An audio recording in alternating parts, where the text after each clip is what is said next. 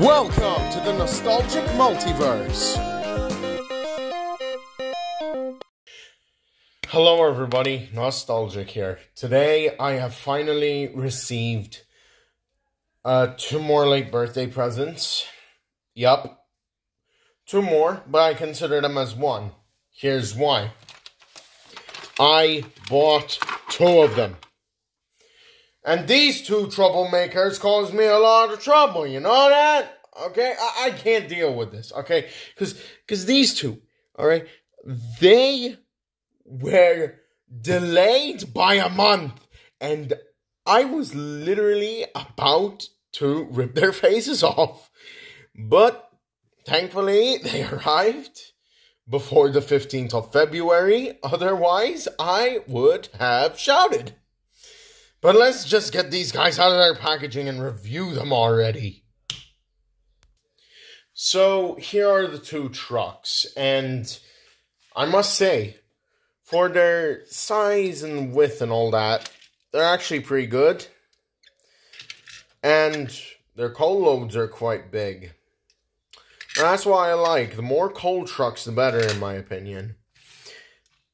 And when you have when you have troublesome trucks, it's simple what you can do with these guys. Cause a lot of trouble on the railway when making a remake or something.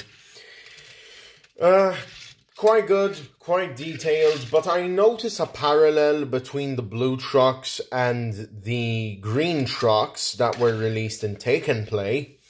And it's the fact that these blue trucks actually look similar to James's new trucks from season 9. As well uh, as well as that, the green trucks are similar to the new trucks that Thomas got in season 9 as well. So, with that, I must say, it's quite clever of Mattel to do that, and it just gives a bit of fan ideas for Thomas and for people who like Thomas and Friends.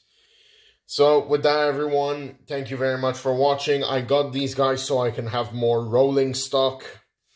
And if you want to know what's at the back of the packaging on the Trackmaster push along packaging for them, there's a lot of detailed information.